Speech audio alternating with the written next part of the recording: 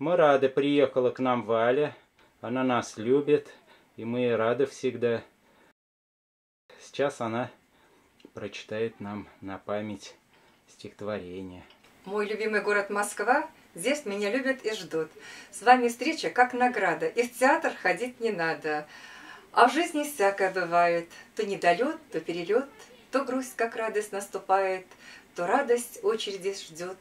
Ах, эти встречи и тревоги, и миражи и поезда, и незнакомые дороги, и ненаглядные глаза, но прокричат прощально трубы, даль провожая поезда, и ты солжешь и скажешь, что любишь, и я поверю, как всегда.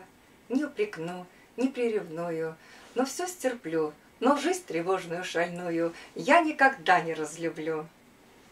Молодец, Оль, спасибо. Говорят, Отлично. меня жалея, твое горе от ума. Знай, чем женщина глупее, тем счастливее она.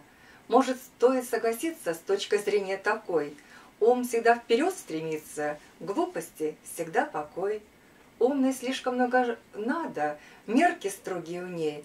Оправдать мужскую слабость умной женщине трудней. Полурадость не приемлет, хоть какой-нибудь для муж, для нее сложнее смерти будет разобщенность душ. Так то стоит ли мириться с этим право, не пойму. Не хочу рук, в руке синицы, счастье нужно мне жартицей, и другого не приму. Я покидаю гэта кут чароўны, дзе жыў я ў некім лецятынным сне. І суму і трывог і шчасця поўны, не памінайце ліха вы мяне. Хотел бы я сюда вернуться, но что же дать по страченной весне? Бывайте, хай вас буры не кранутся, не поминайте ж лихом вы меня.